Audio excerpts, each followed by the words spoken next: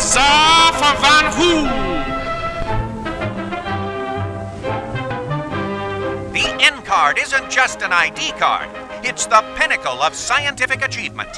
It all started back in 1918 when Dr. Alfred B. von Hoob, then Associate Professor of Chemistry at the University of Nebraska, first proposed the idea of an enhanced student, faculty, and staff ID card. His early experiments, groundbreaking in their day, first bore fruit in the fall of 1921. There he shocked the academic world with the introduction of his Von Hoob card, an ID card that also provided free admission to select sporting events. Historians would later call this the A card. The 1930s brought a flurry of advancements from von Hoob's laboratory. The D card, with the ability to vote in student elections, was hailed by the press on both sides of the Atlantic as a scientific marvel. He was even immortalized in song in 1933. Science guy.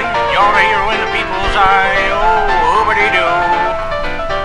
Van you're more than just a brain. Replicating the success of the D card was not an easy task, however.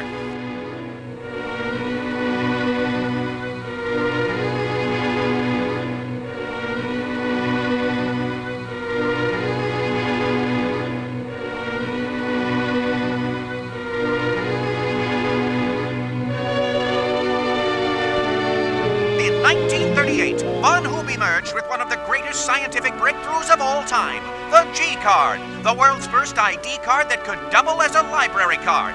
This would be Von Hoob's crowning achievement. In 1939, he mysteriously vanished, leaving his life's work to be carried on by his esteemed associates.